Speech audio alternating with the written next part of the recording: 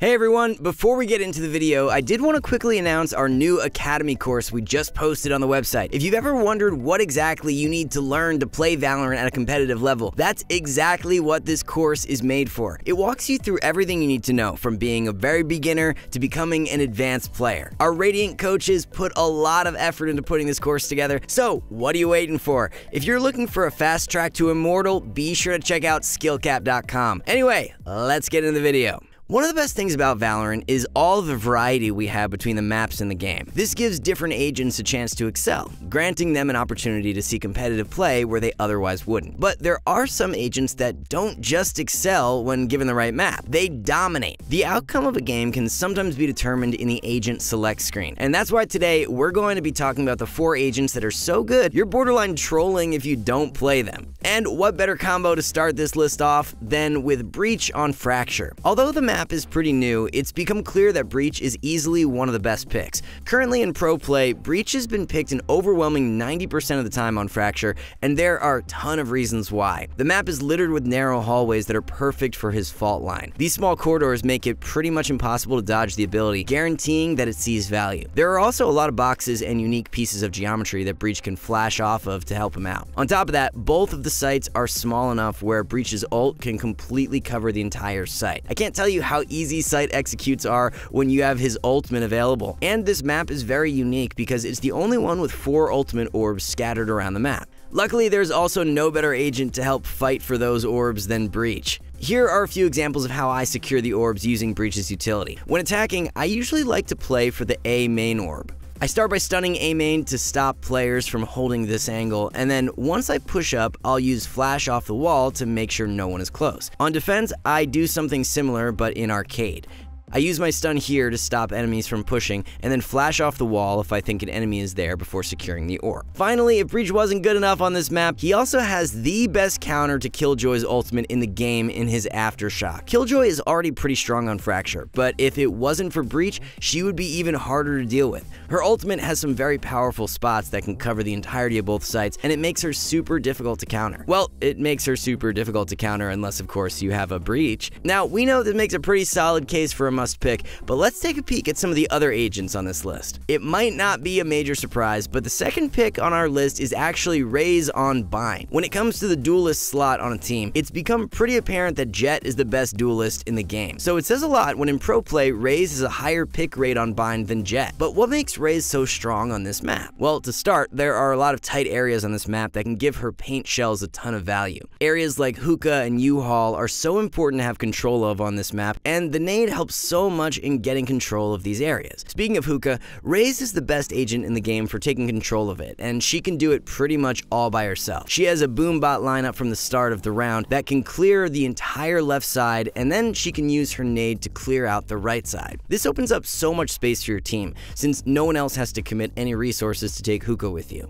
The Boombot lineup is also good on its own, even if your team executes A right after, since it can deter flanks. The quickest path to flank your team if you're pushing A is through Hookah, so by using the Boombot, you give your team information if any enemies are pushing out from there. If the Boombot goes uncontested, then you know that the only area that enemies could be trying to flank from is through B long, which makes a bigger difference than you might think. The main thing that sets Raze apart, though, is that she's just so efficient. She can entry, she can take space, she can gather info, and she can do do practically all of this solo. It is incredibly valuable to have a duelist who doesn't always need to be supported by their team, and that's the reason Raze finds herself on our must-pick agents list. We're only halfway through the list though, and let me just ask you a question real fast. Have you ever tried to play a game of Breeze without a Viper on your team? There's just holes in your smokes everywhere, and nobody really knows where they're getting shot from. Yeah, that's the reason we had to put Viper on this list. The thing that makes Breeze so much different than the other maps in the game is the fact that there is just way too much open space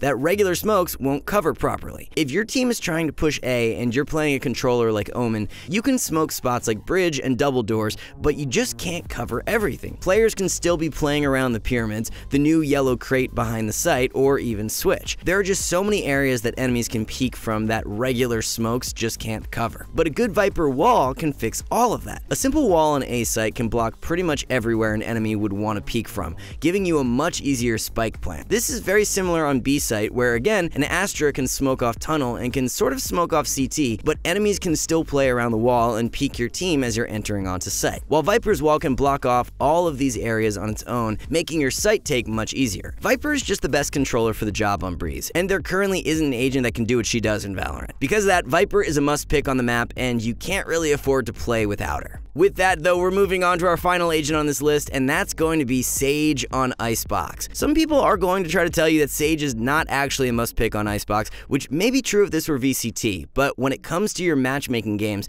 you just can't afford to run the risk. That being said, even in pro play, she's the most picked Sentinel on Icebox with almost an 80% pick rate, and that's definitely not a stat to scoff at. When people think of Sage on Icebox, they mostly think of walling off Tube on defense or walling for the plant on B, and those are great great ways to use it. Tube is a spot that can be really hard to watch since it's so easy to smoke off mid and block your team's line of sight. That's why most of the time it's just easier to wall it off and forget about it. And as for the B plant that everyone likes to do, I will admit, although helpful, there are a bunch of other ways you can use her wall. For example, you can actually use it to stop the enemy team from planting on B as well. If you notice that the enemy team pushes B every round, walling off the site can help stall long enough for your team to rotate. Also, as good as the wall is for helping get the plant down on B, it's also equally as useful useful on A as well. A's site on Icebox has so many angles that enemies can be holding from, so being able to just wall off a piece of the site, get the plant down, and then fall back into post-plant positions can be so powerful, especially since Viper is incredibly strong on Icebox too. Sometimes just playing for post-plant is the best strategy. That's why having such a strong agent like Sage is so important, because you need that agent that is able to buy your team just enough time to get that spike down so you can set up for post-plant. And no other agent in the game can guarantee a plant quite like Sage does. So that's why she needs to be included on this list. But remember, none of these must picks matter if you're not able to play them efficiently. That's why on skill-capped.com we spent so much time creating courses on how to play all of these agents to their maximum level. Every agent in this video has its own course on the site, made by actual Radiant players who will walk you through how to get the most value out of your abilities. Not to mention, this is all backed by our rank improvement guarantee, so it's literally no risk to your wallet. So what are you waiting for? Stop messing around and head on over to skill-capped.com to get the rank you've always wanted. Anyway though, that's gonna conclude our video for the four must-pick agents in Valorant. We probably could have included a few more agents on this list, so if you'd like to see a future video like this, be sure to let us know in the comments below. Also, be sure to remember, although we call these agents must-picks, anything's possible, and you shouldn't give up your games just because you don't have the perfect team comp. That being said, hopefully thanks to this list, you're able to better understand what some of the best agents in the game are on each map. Finally, as always, we here at SkillCapped want to thank you all for watching, and we'll catch you in the next one.